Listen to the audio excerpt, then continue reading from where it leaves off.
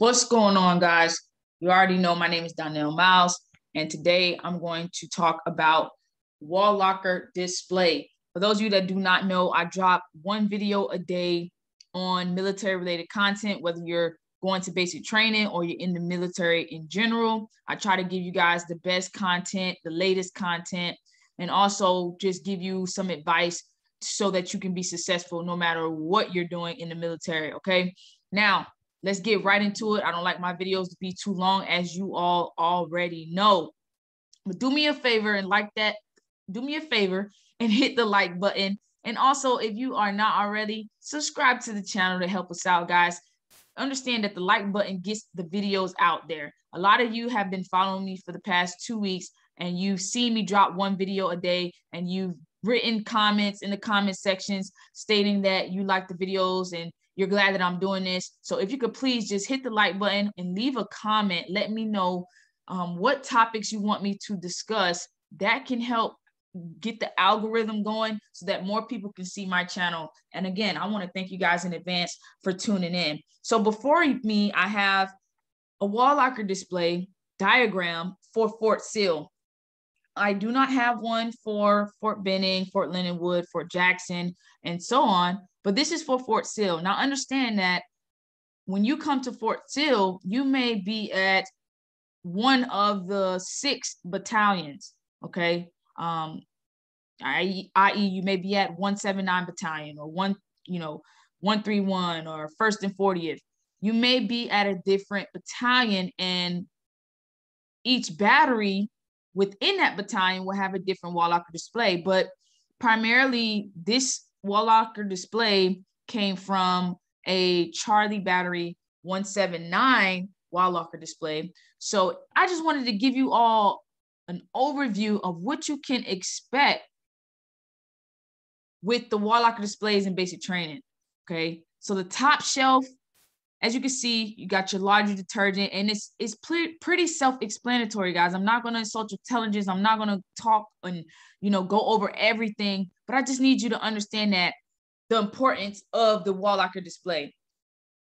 Pay attention to everything on the wall locker display, no matter what installation you go to. And I'm to give you some tips. Let's get into it. First things first, your wall locker is to be inspection ready at all times. Period. I don't care if you are going to an appointment. I don't care if you, you know, went to sick call and you're at quarters and you come back and it's your first day back, back in the swing of things because you're, you know, you're healthy or whatever, and you're back training and it's toes online and you're getting inspected. And during toes online, your drill sergeant will tell you exactly what he or she wants you to do. But more than likely, your wall lockers will be open so that the drill sergeants can come through and inspect. But understand that a random inspection can happen at any point in time. So the key thing is for your wall lockers to remain inspection ready at all times. A lot of things can go wrong with a wall locker display. For example, you may say, for example, you may say, look at item number six, or let's just make it easy. Look at item number eight, right? Number eight, as you can see right here, it says patrol cap as worn. So when a drill sergeant come and look at your wall locker display, your PC, your patrol cap shouldn't be with the bill towards the back of the locker. Okay. When they say as worn, that's what they mean. Another common mistake with the wall locker that I've seen when I was a drill sergeant was the flashlight. Now you're looking at this flashlight, right? Item number seven, it said red lens flashlight. The first mistake is you don't have the red lens on your flashlight. And this will come to uh, realization once you leave for basic training.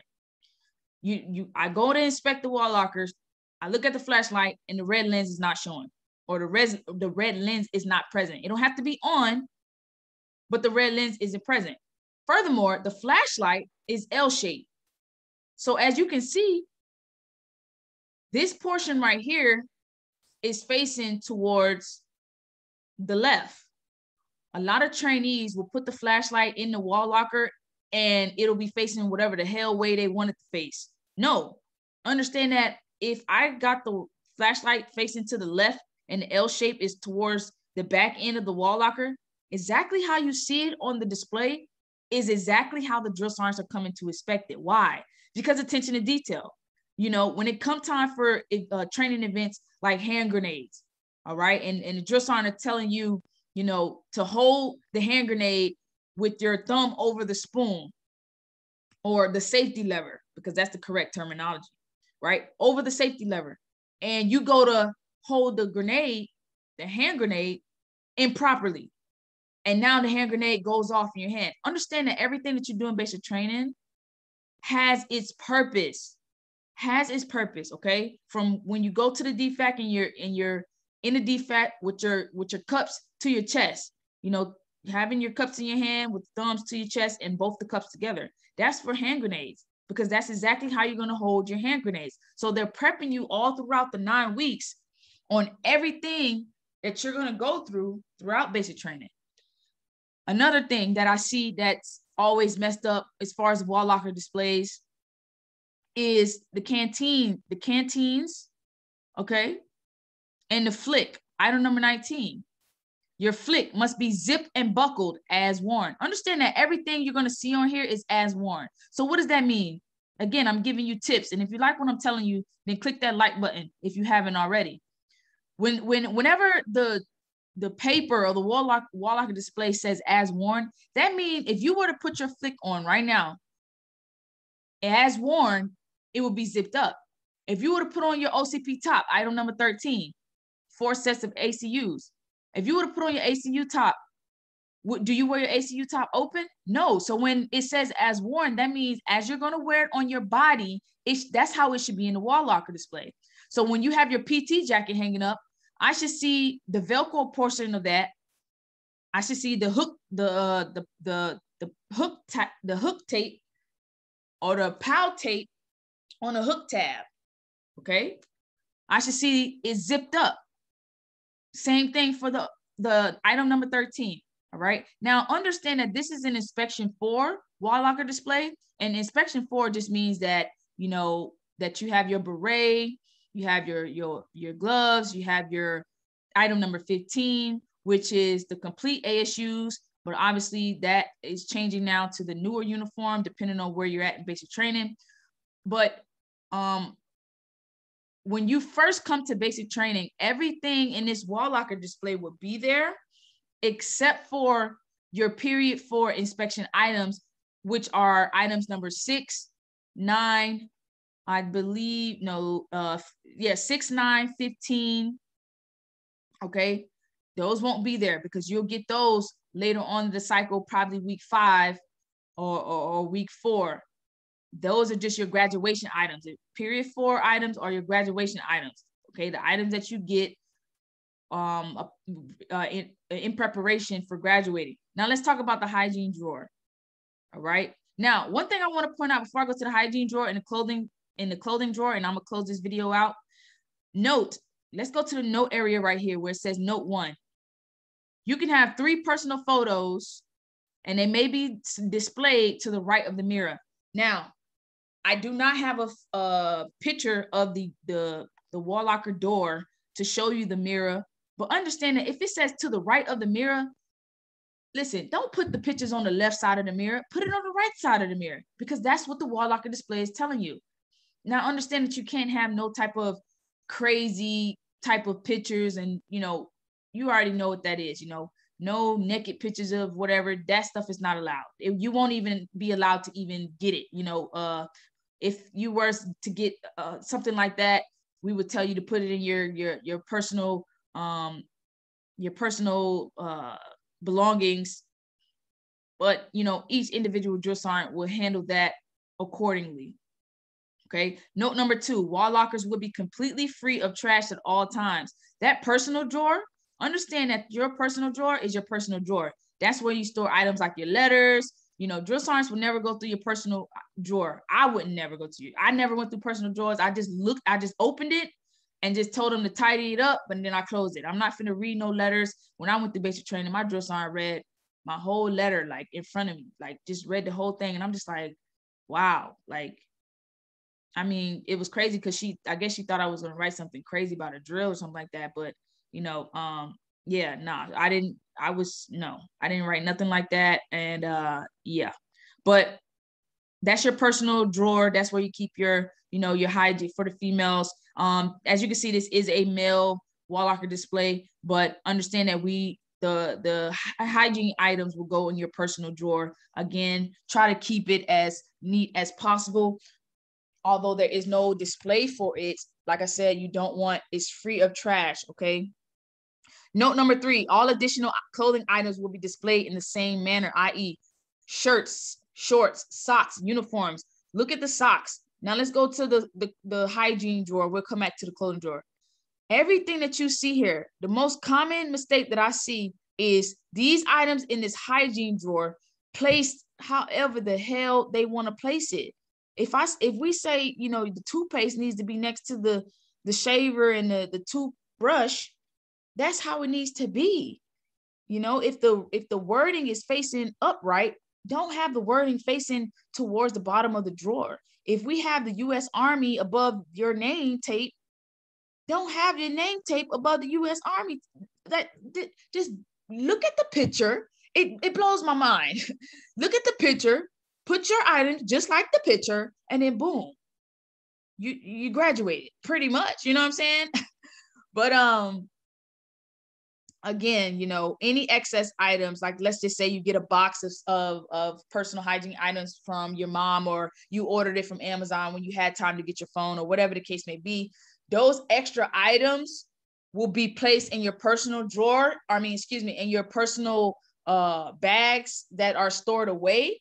This is just how I did it. It would be stored away in your personal bag that you came to basic training with with that is locked away. And then when you say, hey, Drosana, I'm running out of, you know, detergent or deodorant or whatever, can I get it out of my, you know, uh, personal bag because I put my excess stuff in there and I'll, you know, go allow you to do that. But you know, again, I'm just saying what I've seen and how, you know, what how I did it when I was a drill. And this was uh, you know, I got off the trail in January. So this is fairly, fairly recent stuff here. Okay.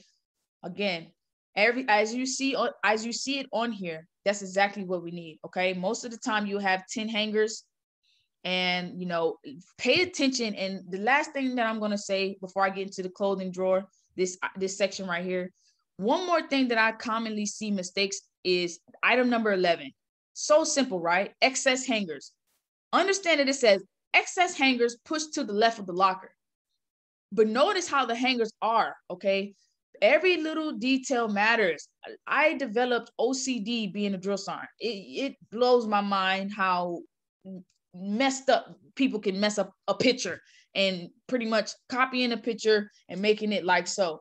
But you know with understanding with time um you will understand attention to detail so let's move on to clothing drawer not uh item number a items must uh will be placed neatly in the drawer as, as shown. Now, item number B is your shirts, okay? And again, this is a male wall locker display. So this right here is their underclothes, I believe. Um, and this right here is the t-shirt. Now I have a video on how to ranger roll your t-shirts, ranger roll your socks, okay? So go back, if you don't know how to ranger roll, you need to learn how to ranger roll and you need to practice making it within six inches. Now, understand uh, another tip to give you guys look at the hygiene drawer and the clothing drawer, okay, which is drawer number two and drawer number three. Underneath all of this, this brown thing that you see, that is a towel. That is a towel. Again, pay attention to detail. This, your drawers are not going to be brown like that. That is a towel. So you have to place a towel down and then you place all the items on top of it. Again, according to whatever, wherever you go, it is going to change. Guys, I hope you enjoyed this video. Again, you can screenshot this just to kind of get an overview of what you're going to expect when you go to uh, BCT. Again, it will change according to what installation you are at. I hope you guys enjoyed this video. Please comment below. Let me know what videos you would like to see, and I will catch you guys on the next one.